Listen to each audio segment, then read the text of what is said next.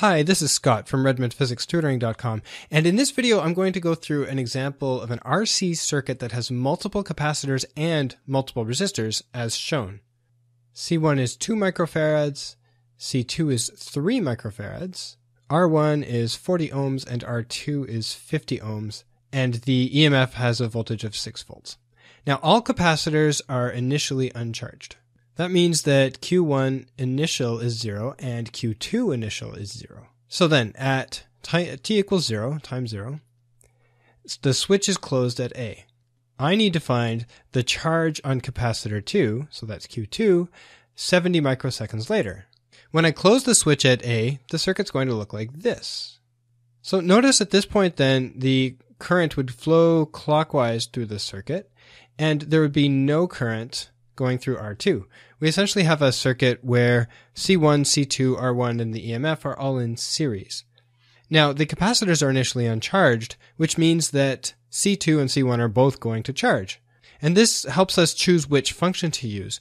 We know that when capacitors are charging, they start out with a zero, well, in this case it's zero, and eventually they will reach a point where the voltage across the set of capacitors matches what's given, and uh, the charge versus time function shows it's sort of the, the opposite of an exponential decay. Remember, exponential decay starts off at some value, but then decays very quickly and eventually approaches zero. The exponential decay function is what you get when you multiply times e to the power of negative blah, whatever. And the charging function then is going to be 1 minus e to the negative blah. So that just helps us choose which function to use. I personally have trouble remembering. So what I do is I think about the exponential decay function because I know what that looks like. And I know that if I take one minus that, I'll get the, the charging function in this case. So then what I want to find is Q2 as a function of time because I'm, I'm charging. I need to use the C2 charging equation is going to be equal to C times the EMF times 1 minus e to the negative t over RC. And the question here is what value do I use for C and what value do I use for R? T is given, 7 times 10 to the negative 5 seconds, but I really need to be careful about C and R.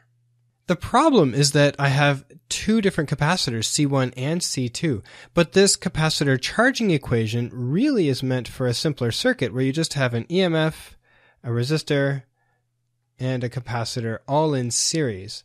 But that's one EMF, one resistor, and one capacitor. So when we're applying this function, we actually need R to match this single resistor circuit, and we need C to match this single capacitor circuit. Luckily, it's actually not that hard. What we can do is we can redraw this circuit with an equivalent capacitance. So we'll have the EMF, and we'll have a capacitance that's equivalent to C1 and C2 together. And those are in series. So I'm going to call this C12, and I'll put the resistor on the bottom just to match what we had before. Uh, remember, there was no current going through R2, so the resistor is just R1. And then we actually have a very similar circuit to what we had before, where the current was flowing clockwise through the circuit. Then the equivalent capacitance is actually fairly simple to calculate. We have C12 is equal to the inverse of C1 plus the inverse of C2, and then take that as the inverse.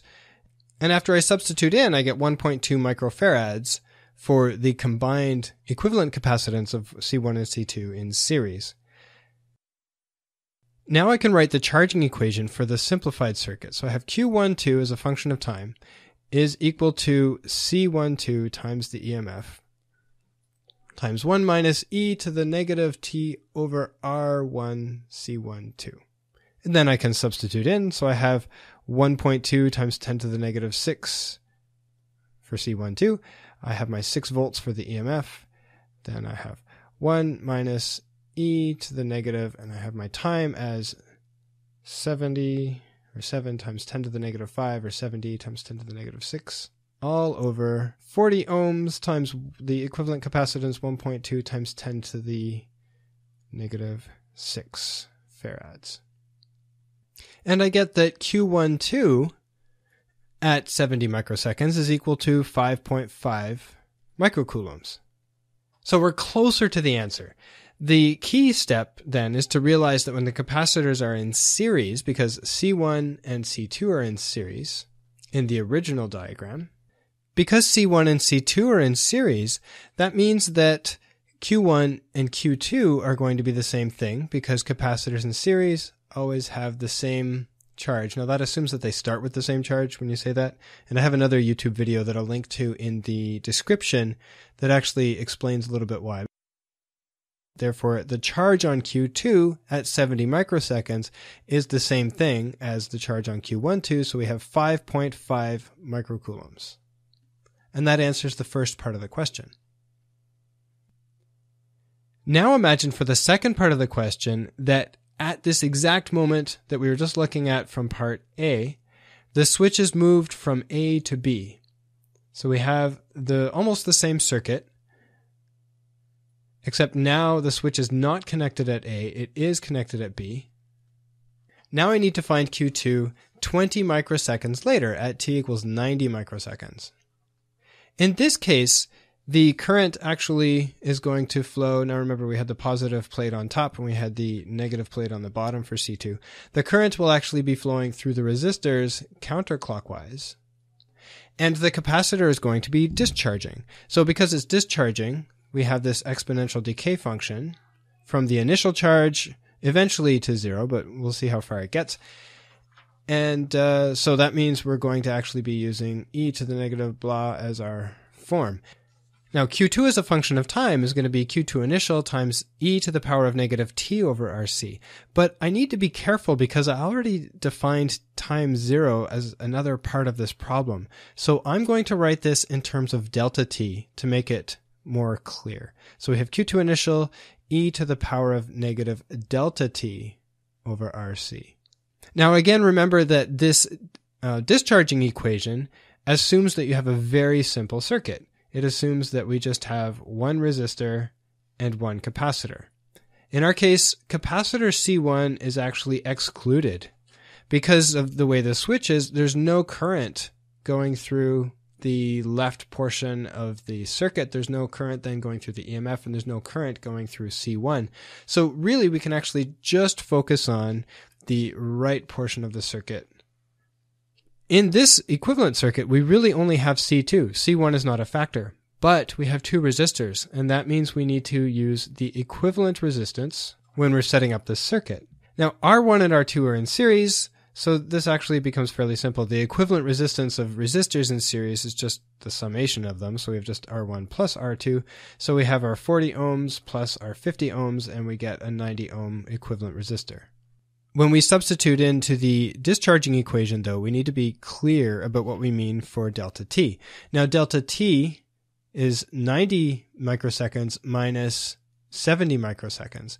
Q2 initial came from the first part of the problem. So we have 5.5 times 10 to the negative 6 coulombs. Remember for the resistance, this equation counts on using the equivalent resistance, so I have to use 90 ohms when I'm substituting in for the resistance value. But because there's only one capacitor, C2, I can use the capacitance for C2 as the capacitor. So when I solve for this, I get 5.1 times 10 to the negative 6 coulombs.